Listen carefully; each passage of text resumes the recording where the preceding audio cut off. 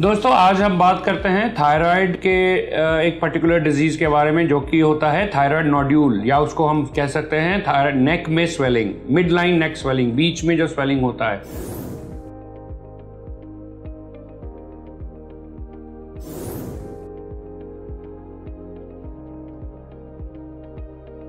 जो general discussion हम जो आप करेंगे वो यह है थायराइड नोड्यूल के बारे में। और ये क्या होता है? ये थायराइड नड्यूल जो होता है, एक गिल्टी होती है जो कि थायराइड ग्लैंड के अंदर बनती है। ये गिल्टी फीमेल्स में काफ़ी कॉमन होती है मेल्स के बदले और प्रेगनेंसी से भी रिलेटेड रहती है। अर्ली एज में होती है, बहुत ज़्यादा लेट एज में नहीं होती है। इसके, इसको एग्ज़ामिन कराना बहुत ज़रूरी है क्योंकि एक एक स्टेज के बाद वो इतनी बढ़ जाती है कि शेप बाहर दिखने लगती है। इसमें डायग्नोसिस जो है, वो कई किस्म के बनते हैं। एक नोड्यूल के अंदर कई डायग्नोसिस हो सकते हैं। उसके लिए पहले डॉक्टर को एग्ज़ामिन कराना ज़रूरी है। ये गिल्टी अगर आप खुद एग्ज़ामिन करना चाहें तो इसमें एक खासियत होती है कि ये गिल्टी आपकी स्वेलविंग मूवमेंट से ऊपर नीचे होती है। जैसे कि आप अगर गिल्टी को पकड़ के रखें या हाथ लगा के रखें और स्वेलो करें, कुछ थूक अपना या पानी पीजिए तो वो गिल्टी भी साथ में मूव करती है। इसका मतलब ये होता है कि ये थायराइड ग्लैंड के अंदर है। अगर इसको हम ऐसे ही छोड़ दें या आगे कुछ ना बढ़ें तो ये काफ़ी बड़ी हो सकती है और इसमें कई किस्म की प्रॉब्लम्स भी हो सकती है। अब हम इसका डिस्कशन ये करेंगे कि इसको आगे क्या करना है। सबसे पहले इसका एग्ज़ामिन जब जब डॉक्टर एग्ज़ामिन करेंगे माउथ के अंदर एग्ज़ामिन करना है नेक का एग्ज़ामिनेशन कंप्लीट करने के बाद इसको अल्ट्रासाउंड कॉमनेस्ट इन्वेस्टिगेशन होती है अल्ट्रासाउंड थायराइड अल्ट्रासाउंड करा के इसका साइज़ इसके अंदर क्या है? इसमें लिक्विड भरा है या सॉलिड है? और कितने हैं? मल्टीपल हैं या एक है? ये सब देखना ज़रूरी होता है। ये जब देख लेते हैं और इसमें अगर हमें फ्लूड दिखता है या लिक्विड दिखता है तो इसमें बिनाइन होने का चांस काफ़ी रहता है कि ये कैंसरस नहीं है।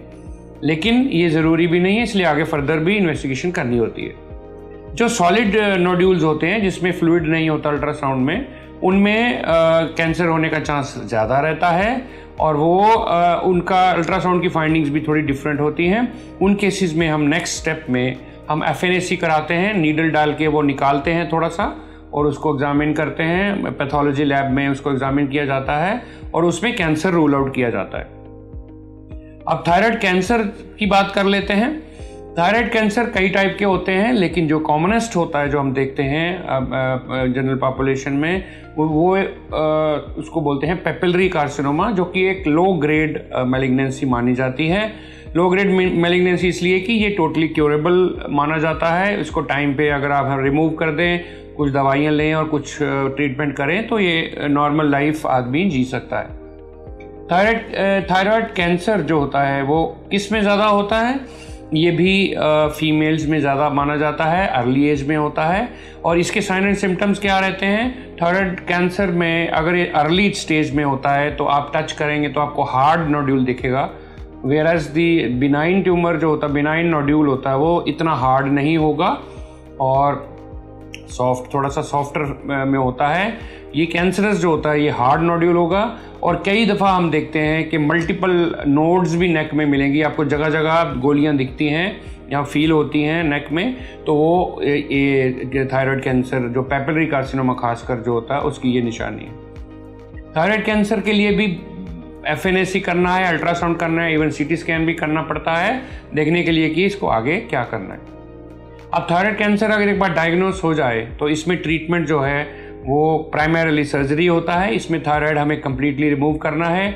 जो नाक, गर्दन में बाकी जगह गिल्टियाँ हैं, वो भी निकालनी होती हैं। उसके बाद जब पेशेंट ठीक हो जाता है, जब वून ठीक हो जाता है, जब सर्जरी का इफ़ेक्ट ख़त्म हो जाता है, फिर पेशेंट को फर्दर हम कुछ टेस्ट कराते हैं और इसके ट्यूमर मार्कर्स को हम डिटरमिन करते हैं टाइम टू टाइम जो कि ब्लड में सर्कुलेट करते हैं।